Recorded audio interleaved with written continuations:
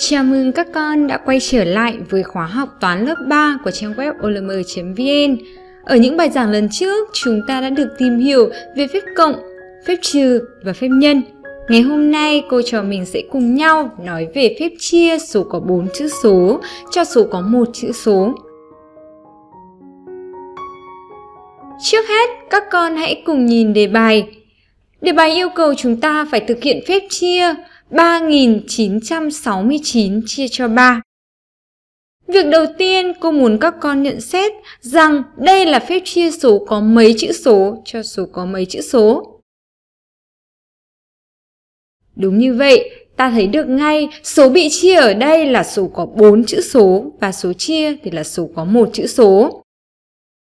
Nhớ lại, các con đã được học về phép chia số có 3 chữ số cho số có một chữ số. Vậy thì khi mở rộng thành số có 4 chữ số, chúng ta cũng sẽ làm hoàn toàn tương tự. Bước đầu tiên các con sẽ phải đặt tính rồi tính. Ở đây cô sẽ viết số 3969 và số 3, tức là số bị chia và số chia. Sau đó thì cô sẽ vẽ dấu gạch thẳng biểu thị là phép chia và dấu gạch ngang như thế này để thể hiện kết quả. Sau đó chúng ta sẽ làm gì? Ta sẽ lần lượt chia từ trái qua phải theo chiều như thế này. 3 chia cho 3 bằng 1, chúng ta sẽ viết 1 ở phần kết quả. 1 nhân 3 bằng 3, 3 trừ 3 sẽ bằng 0. Đó là lượt chia thứ nhất. Sau đó ta sẽ hạ 9 ở đây và lấy 9 chia cho 3, kết quả sẽ bằng 3 và ta viết 3 như thế này. Tiếp tục 3 x 3 bằng 9, 9 trừ 9 bằng 0, ta viết 0 và kết thúc lượt chia thứ hai. Tới lượt chia thứ ba, ta sẽ hạ 6 ở hàng chục xuống. 6 chia 3 được 2, viết 2 ở đây. Sau đó lấy 2 x 3 bằng 6, 6 trừ 6 sẽ bằng 0. Kết thúc lượt chia thứ ba và bắt đầu tới lượt chia thứ tư, các con lại hạ 9. 9 chia cho 3 được 3, ta sẽ viết 3 ở đây. Sau đó lấy 3 x 3 bằng 9. 9 trừ 9 bằng 0 và như vậy ta kết thúc lượt chia thứ tư cũng là kết thúc phép chia này. Vậy thì từ đây ta suy ra số 3969 chia cho 3 sẽ được kết quả là 1323 và ta sẽ viết phép tính như thế này. Như vậy, để thực hiện một phép chia, chúng ta sẽ lần lượt thực hiện các lượt chia từ trái qua phải. Các con chú ý là nếu như phép nhân, phép cộng và phép trừ, chúng ta sẽ thực hiện từ phải qua trái thì phép chia chúng ta sẽ làm ngược lại, ta sẽ phải thực hiện từ trái qua phải. Ở đây các con lưu ý là đối với phép tính này thì kết thúc một lượt chia chúng ta luôn luôn có số 0. Áp dụng cách thực hiện phép tính, các con hãy cùng làm cho cô một số phép chia dưới đây. Chúc mừng, như vậy các con đã có kỹ năng để thực hiện những phép chia như thế này. Bây giờ cô đưa ra ví dụ thứ hai. Thực hiện phép tính 1276 chia cho 4. Chúng ta cũng sẽ phải đặt phép chia như thế này. Tiếp tục thực hiện lượt chia từ trái qua phải.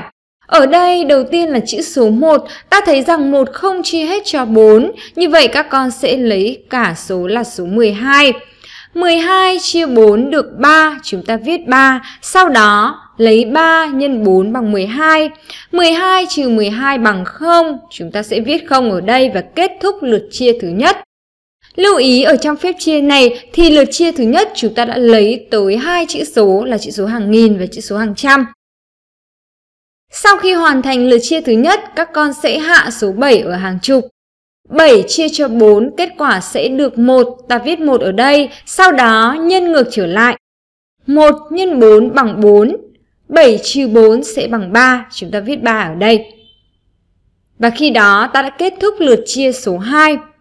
Các con sẽ thấy ngay được sự khác biệt đó là ở phép tính này thì ở lượt chia thứ hai chúng ta đã thấy không còn xuất hiện số 0 nữa mà là số 3.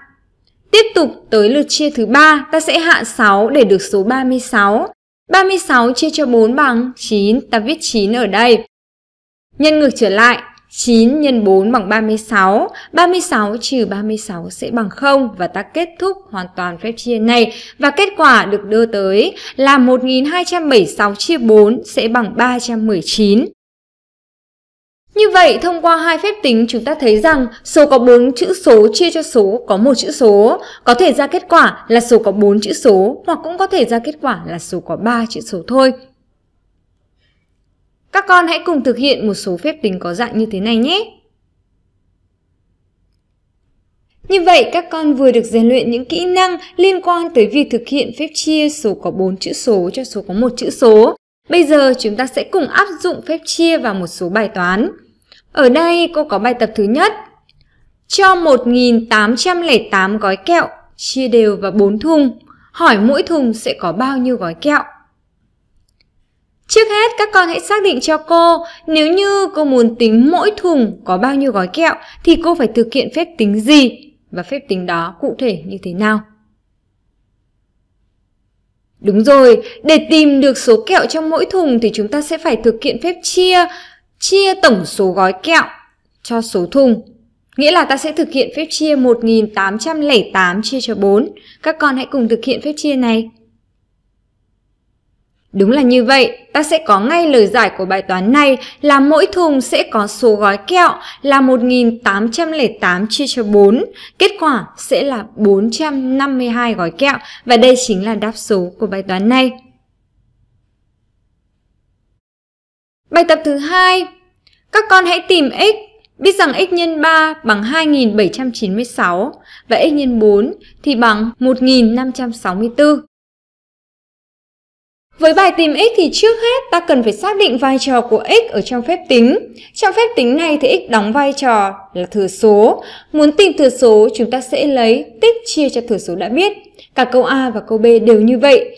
Dựa vào hướng dẫn này, các con hãy cùng giải quyết cho cô hai câu này nhé.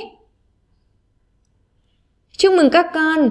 Ở đây chúng ta thấy được ngay, x sẽ được tìm bằng cách lấy tích nghĩa là 2796 chia cho thừa số đã biết là 3 các con sẽ thực hiện phép chia và suy ra được ngay x có giá trị là 932 và hoàn toàn tương tự với câu B, ta cần phải thực hiện phép chia 1564 chia cho 4.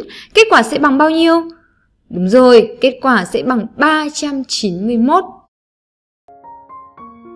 Như vậy, ở bài giảng ngày hôm nay, chúng ta đã cùng tìm hiểu về cách thực hiện phép chia số có 4 chữ số cho số có một chữ số. Các con có thể rèn luyện thêm kỹ năng này bằng cách thực hiện các bài toán trong phần luyện tập của trang web olm.vn. Bài giảng tiếp theo, chúng ta sẽ tìm hiểu về phép chia mở rộng hơn. Cảm ơn các con đã lắng nghe bài giảng và hẹn gặp lại trong các video tiếp theo của olm.vn.